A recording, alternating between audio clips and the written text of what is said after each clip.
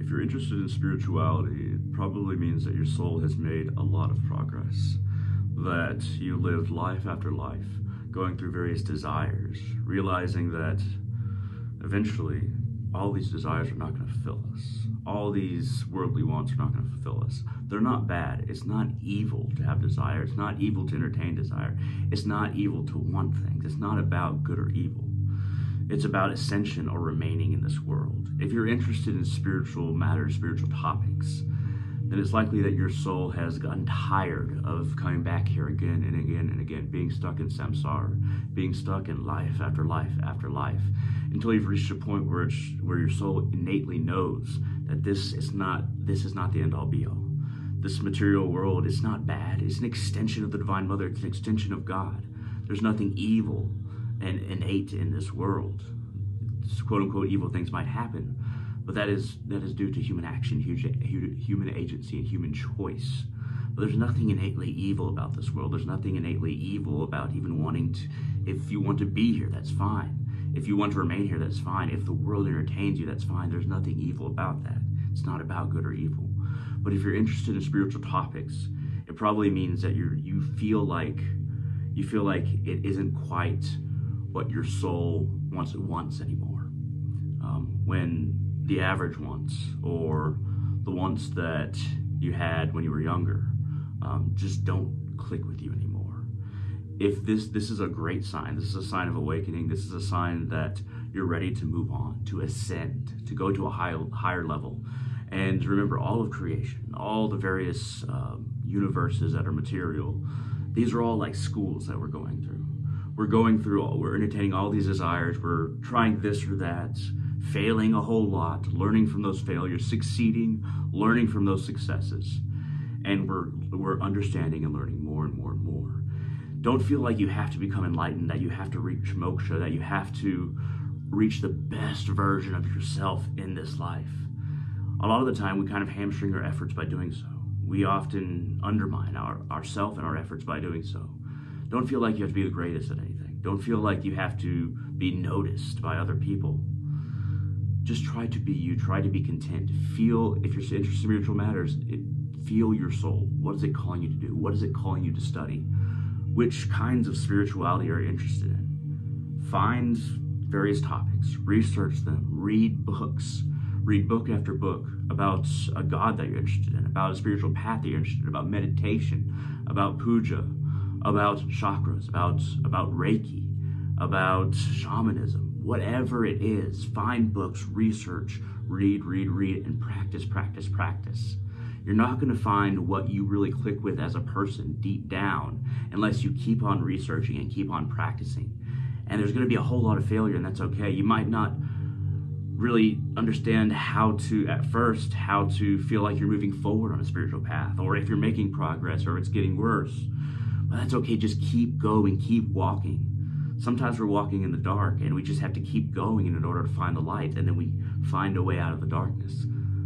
Don't fall into lethargy. Don't fall into laziness. Don't fall into the traps of this world of just trying to get a better job or just trying to be promoted or just just thinking about um, work or or society or politics or even school all the time. Don't just don't just have that going through the, the through your mind, through these mental cycles, through the, the merry-go-round that is the mind. Don't just have those things that are of this world and worldly topics in the merry-go-round of your mind. Introduce more and more spiritual ideas. That's what research, that's what that's what study is for. It gets spiritual ideas into that carousel to where, you know, maybe it's not all spiritual. It's not going to be all spiritual, but you have you have spiritual thoughts that come around in the mind. And then once you hit that, it's almost like your soul feels a little brighter, feels a little ping, like you're more in touch with who you are deep down, whoever that is. That's why it's thinking more spiritual thoughts is what we have to do before, you know, our mind is mostly spiritual. I wouldn't even say my mind's mostly spiritual. And the vast majority of people who are spiritual, uh, mind isn't just thinking about spiritual topics. That's okay. You can engage in this world. A lot of us have to in order to live a balanced life or to make ends meet. But introduce more spirituality into your mind, into your practice, into your space. It's good to have images of various gods, various spiritual people, various spiritual landscapes, even around you that remind you of your of your journey, of your search. Sometimes it's just pieces of art that are very inspiring. Uh, nature art, for instance, that make you think about the deeper nature of who you are and our purpose here to remind you again and again and again. Spiritual practices are vital as well. But if you're watching this, you might be early on the spiritual path. You're probably not highly advanced. So it's good to introduce these, these spiritual thoughts in your merry-go-round. Think of it that way. And get more and more in there until your soul's hitting more and more pings as, as, as these thoughts are going by. It's a wonderful feeling once you start to transmute your mind and your practice and your environment into a safe space and a space of growth for your soul, for your mind's connection to your soul, for consciousness that pierces both. Consciousness and soul are so interlinked, and the mind is not us. You might have chaotic thoughts, you might have confused thoughts, you might have strange thoughts, you might have terrible thoughts, or, or mean thoughts, or angry thoughts. Do not think that you are the mind. You're not the mind. You're so much more than that. You just have to introduce more to your carousel. And you just have to be able to allow the bad thoughts to pass and meditation helps with this a lot.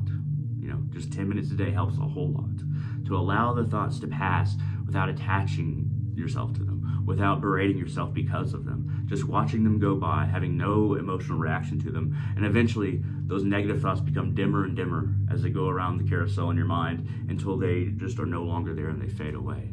But just try not to have a reaction to where you take up these negative thoughts and you entertain them or you punish yourself because of them, or you punish yourself because of your past, or punish yourself because of what you want. Don't punish yourself. Just allow those thoughts, those desires, those wants, those memories to pass. Have no aversion or craving for them. And over time, they will fade. If you're interested in spiritual matters, keep going. Whatever you do, keep going, keep researching, keep trying things whatever kind of spirituality you're into, whatever kind of religion that you're into, if you're into a religion, whatever kind of path you're into, just keep going and just keep learning. That's what we're here to do. Just keep learning in this school of life. And it is a school. We don't have to be the best versions of ourselves this time. We don't have to be great. We just have to learn how to be us more and more and more. I hope that this has helped a little bit. I hope this was interesting. And I hope this inspired you at least in some small way. Please like this video, it helps out the channel. Feel free to share this wherever you like, and I try to get to all comments. Thank you very much, and above all, have a wonderful day.